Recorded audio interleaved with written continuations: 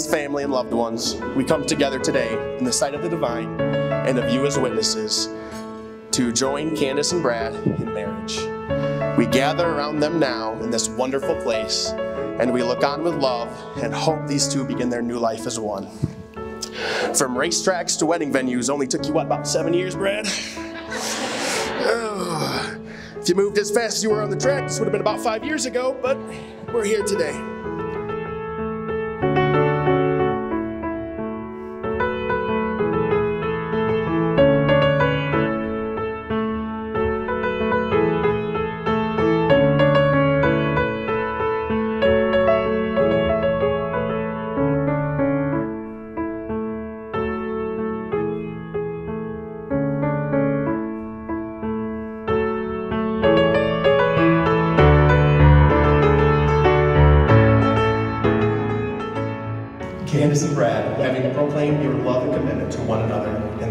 Loved ones and the power invested in me by the of Michigan, I now pronounce you husband and wife. Kiss your bride.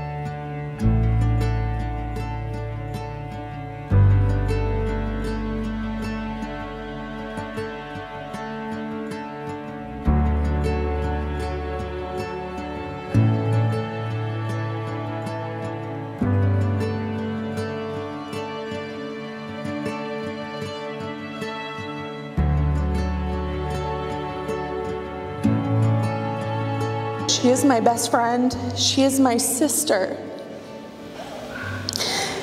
And I know she has found the truest kind of love with you. And as you begin your new journey together, I wish you both the most fun filled life. A life where you grow to love each other every day. Never stop exploring with Bubba. and always find new exciting ways to keep the spark ignited.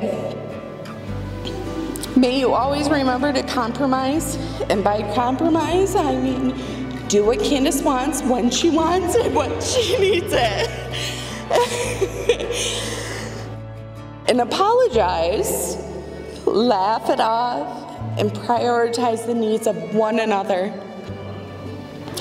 You've made it this far, and I have no doubt you were you two were meant to be together. I can't wait to celebrate with you guys tonight. Lord knows T needs a drink.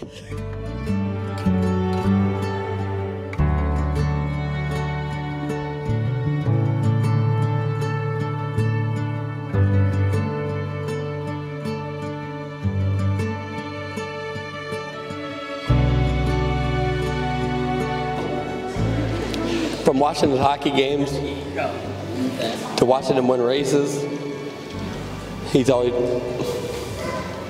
he's always been my hero. And he gets mad at me just a couple times.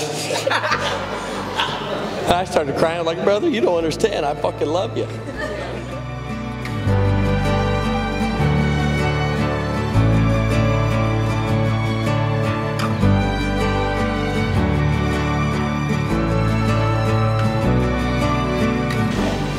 From the moment Candace was born, she's always been my pretty baby.